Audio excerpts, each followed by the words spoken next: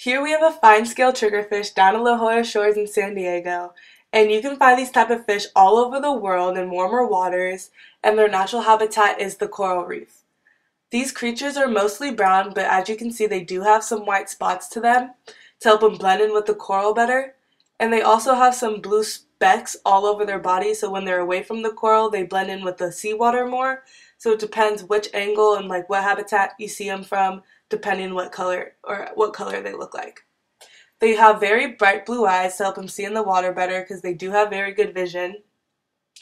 And they can stay really still so that their predators, known as sharks and jacks and other fish, don't think that they're a fish and think they're a part of the coral reefs.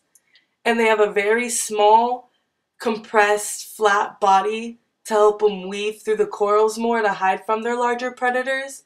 As you can see in this next clip, this is a triggerfish weaving through the corals more, fitting in tight places more easy because it's so compressed. And here we have a fine scale triggerfish actually looking for some food. And they do uh, eat on crabs, sea urchins, and shrimp.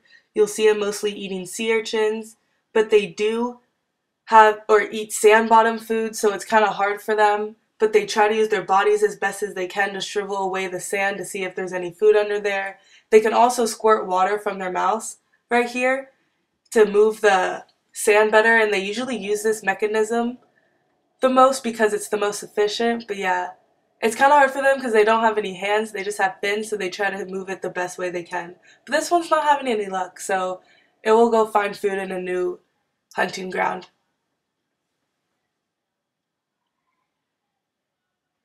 Right here, this fish did actually find a sea urchin, and they're they have very uh, they have a very strong jaw and very sharp teeth because their prey are more shell foods, have hard shells on them, so it's kind of hard for them to crack into them. But that's why they have their strong jaw and large teeth. But yeah, they try to move the sea urchin as best as they can without getting poked by the spikes, and they just kind of flip them over on their stomachs, and after they achieve that, they just eat the meat from their bellies. And it doesn't really take that long, as you can see. He kind of did it quickly. And right here we have the fine-scaled triggerfish actually trying to find a territorial spot to lay its eggs. And the males do find the spot to lay the eggs. They like to put the nest on sea bottom floor where there's soft sand, not really any rocks, away from people. But yeah, they do find a lot of mates a year, try to lay as many eggs as they can, and they're very territorial for their nest and their food, and they will fight anything or anyone that comes near it, even their own species.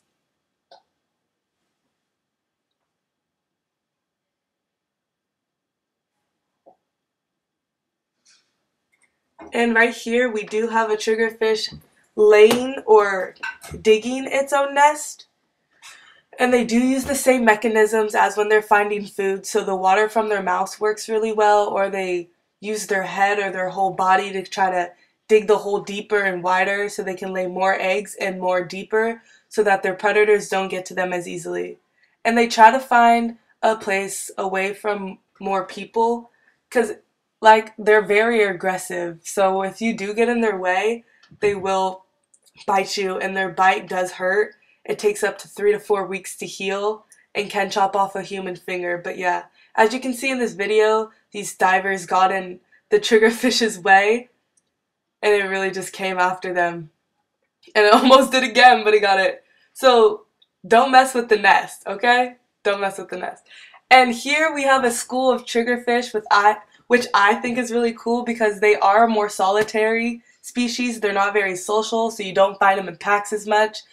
Because, like I said, they do fight their own species. So I just thought this was a very cool, pretty rare sighting that I would show you. And yeah, thank you for listening on the Fine Scale Triggerfish.